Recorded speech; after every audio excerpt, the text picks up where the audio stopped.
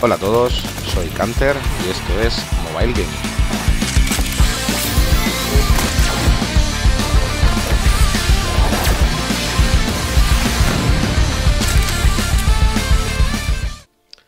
Muy buenas a todos y vamos a otro vídeo de Flag Pro Shooter y hoy me gustaría hablar del Pay to Win, famoso Pay to Win que se habla en todos los juegos, eh, todos los juegos free to play y quería aclarar una cosa que he leído mucho, tanto en el Discord como en como he, visto en, en, reviews del juego en las store de los dispositivos móviles, etcétera, donde se habla, se está hablando últimamente de que el juego tiene un aspecto que es muy pay to win, etcétera. A ver, el juego como tal no es pay to win, pero sí me gustaría aclarar una situación que se puede dar. Eh, como todos los juegos, eh, la mayoría de juegos, en este caso vamos a usar como referencia Clash Royale, nosotros tenemos una serie de cartas que podemos ampliarle el, el, el nivel, ¿de acuerdo?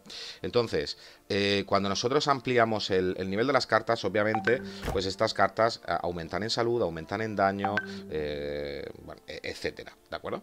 Entonces, lo que sucede es que, obviamente, si nosotros tenemos una media de nivel en las cartas de 4 o de 5 y el otro jugador tiene una media en sus cartas de nivel 9 o 10, por poner un ejemplo, pues obviamente sus, sus fraggers eh, van a estar, digamos, un poco más preparados que los nuestros. A esto hay que sumarle que dentro de una partida otro factor importante a tener en cuenta es el nivel que nosotros tenemos en nuestra cuenta, que yo ahora mismo en la actualidad soy nivel 4. Este nivel lo que define es la salud que tiene nuestra, nuestras torres, por lo tanto la, la, cantidad de, de, vida con la que empezamos una partida. Entonces, cuando nosotros empezamos una, una, una, partida, yo ahora mismo, por ejemplo, estando en nivel 4, yo empecé una partida con 1116 puntos de, eh, ya, ya en mi haber, ¿de acuerdo? Y y bueno, básicamente eso. Entonces, ¿cuál es el caso que se puede dar y que mucha gente pues está considerando el, tema como pay to win? Vamos a ver, tú en el juego tú puedes comprar eh, ofertas, cofres, etcétera. En los cofres te van a dar cartas, que las cartas te van a poder y oro, que te van a poder permitir conseguir nuevos fraggers, que te van a poder permitir subirlos de nivel y a la misma vez, cada vez que los subas de nivel vas a conseguir una experiencia que te va a la cuenta y que te va a permitir subir tu cuenta. Entonces, eh, voy a poner el ejemplo que me sucedió a mí ayer en una partida. Yo me enfrenté a un turco y este turco era eh, nivel 8 este, este, esta persona era nivel 8 y me sacaba nada más empezar entre 300 y 400 puntos, no recuerdo ahora de memoria, de, de, de, puntos, de puntos de salud. ¿De acuerdo? Eh, entonces, eh, estamos hablando de una diferencia medianamente considerable. Es decir, ya parte con una ventaja de 300 puntos eh, sobre mí a su favor. Eh, y aparte, la media de nivel de sus cartas estaba en quizás en 9, mientras que mi deck está en 5 aproximadamente. La media de su, de su deck estaba en, estaba en, unos, en unos 9 aproximadamente. Tenía cartas con a nivel 12 y demás. Entonces, ¿cómo, ¿cómo se pudo dar ese caso? Bien, ese caso se pudo dar porque, insisto, tú en la tienda puedes comprar cofres, puedes comprar, eh, puedes gastar, puedes comprar oro, puedes comprar diamantes, puedes comprar cofres. Aquí no me salen ahora mismo, pero hay unas ofertas que salen, que esas ofertas son bastante suculentas y por el mismo precio que puedes comprar fuera de oferta 2.250 diamantes, eh, puedes comprar un, un, una oferta que viene 1.000 o 2.000 diamantes, que además vienen eh, 60.000 de oro y que además viene un cofre legendario, un cofre épico, lo que corresponda, ¿no? Entonces, eh, la cuestión está en que metiendo dinero tú puedes ir consiguiendo todo eso y tú puedes acabar teniendo un deck con muchas cartas, esas cartas subidas mucho de nivel, etcétera. A la misma vez, como has subido mucho de nivel, has ganado mucha experiencia y has hecho que tu cuenta suba bastante de nivel y en vez de estar en nivel 1, nivel 2 o nivel 3, pues a lo mejor lo tengas como este personaje con el que yo me enfrenté en nivel 8. Eh, pero ¿qué sucede? No es que el juego a mí me esté emparejando con él mmm, por gusto. El juego me está emparejando con él porque cuando nosotros vamos a jugar, el emparejamiento funciona por copas. Intenta encontrarte o localizarte al jugador más cercano en, volumen de copas eh, respecto a ti. Yo ahora mismo estoy en... Eh, perdón, este no es. Yo ahora mismo estoy en Arena 2, estoy cerquita, digamos, de, subir a Arena 3. Eh, yo estoy en Arena 2 y tengo 711 copas. Este jugador, cuando me enfrenté con él, yo estaba en 650 copas o así, si no recuerdo mal. Y claro, él tenía las mismas copas. Las copas no se pueden comprar.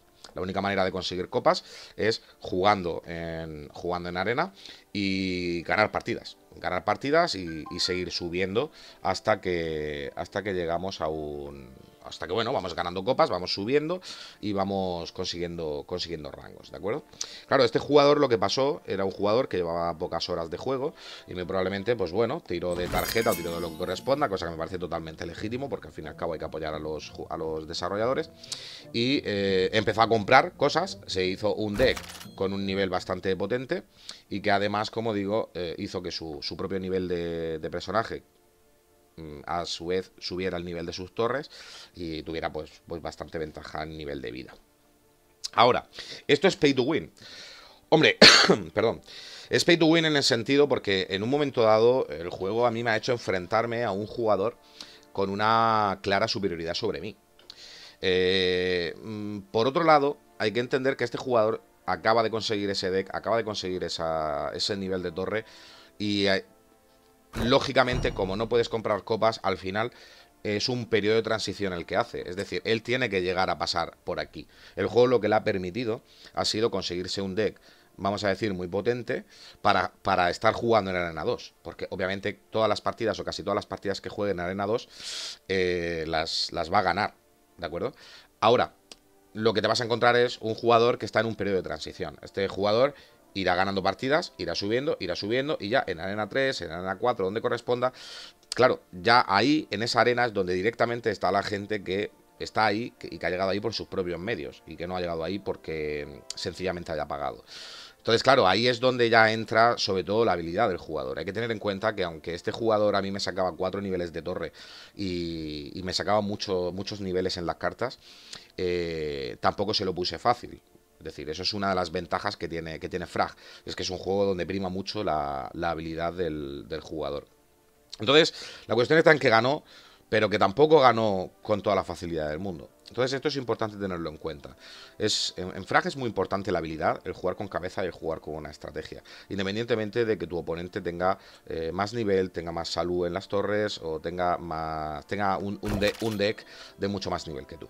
Al fin y al cabo, como en Clash Royale y en otros juegos, al final el juego, el emparejamiento por el nivel de copas, siempre te va a encontrar eh, gente que más o menos esté en tu nivel. Es decir, yo puede ser que tenga un deck, y me ha pasado en Clash Royale, eh, pues porque soy muy malo eh, y he bajado de arena. Entonces me, he enfrentado a gente eh, con, digamos, decks peores que el mío, porque, claro, porque yo he bajado de rango. He bajado de rango porque he perdido. Como he perdido, he perdido copas y el juego me ha bajado de rango. Y yo le sacaba dos niveles en torres a lo mejor a los otros jugadores.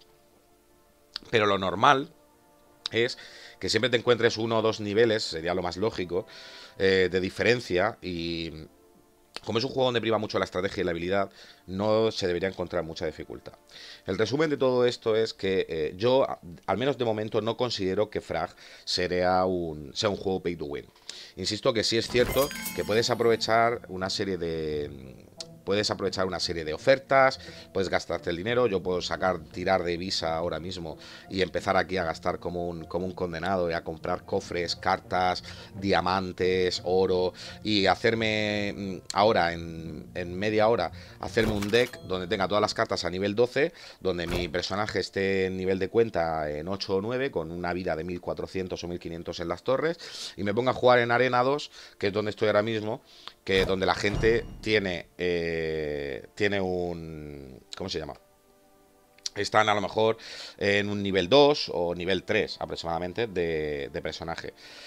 Pero va a ser un periodo de transición solamente. En el momento en el que me encuentre un jugador realmente habilidoso y me encuentre también que poco a poco al final voy a acabar subiendo porque esa, ese poder de la visa lo ha permitido, de que yo vaya subiendo de arenas, va a llegar un momento en el que cuando me encuentre en igualdad de condiciones, o cercano a, igualdad de condiciones, al final, si no juego bien, me van a calentar el morro.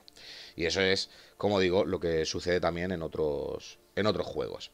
Es decir, eh, que al final el jugador que paga es cierto que obtiene una ventaja, pero es una ventaja inicial, es decir, es, un jugador que está pagando para conseguir un rush. Lo que está haciendo es, estoy pagando, para ahora me fortalezco mucho, empiezo a subir, pero claro, llega un momento en el que cuando llegas a Arena 6, pues lo que te vas a encontrar con gente ahí es gente que habrá pagado y gente que no ha pagado, gente que, que está ahí por sus propios medios, y gente que a lo mejor son jugadores muy buenos. Entonces, si llegas ahí, pero llegas sin habilidad, al final este juego donde la skill es muy importante, eh, al final lo que va a pasar es que ese dinero que te has gastado eh, realmente no te va a servir porque solamente lo has gastado para, para, para avanzar más rápidamente. Entonces, por eso considero que no es un juego pay to win, al menos de momento. Y quería compartirlo con vosotros esta circunstancia porque os puede pasar, ¿de acuerdo? Puede pasar que entréis en una partida, puede pasar que os encontréis con un personaje que tiene un deck totalmente desproporcionado y un nivel de torre desproporcionado al vuestro.